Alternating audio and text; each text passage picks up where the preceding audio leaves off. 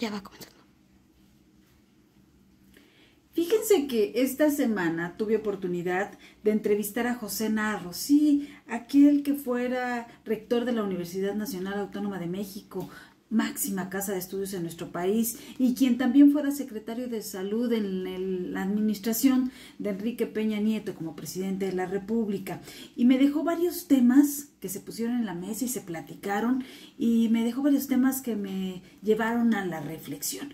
Uno de ellos fue el tema de los cambios que tienen que generar sí o sí los partidos políticos si es que quieren cambiar, si es que queremos lograr de la política, de la democracia, otra historia diferente en nuestro país.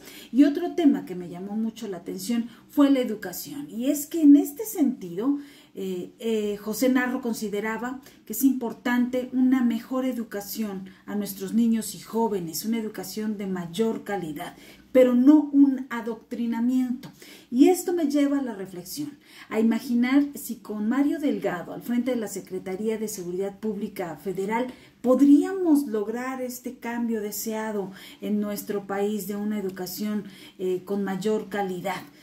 Yo lo dudo mucho, la verdad lo dudo mucho y es que desde las primeras infancias podemos meterles ideas políticas a nuestros jóvenes y en las juventudes necesitan una calidad superior de lo que hoy tenemos en materia educativa, que los jóvenes puedan salir mucho más preparados de, lo, de los retos que hoy enfrentan eh, nuestro país con respecto al resto del mundo. ¿Usted qué opina? Me encantaría conocer su opinión. Yo soy América Ortiz y lo espero de lunes a viernes en la primera emisión de Noticieros Expresa TV.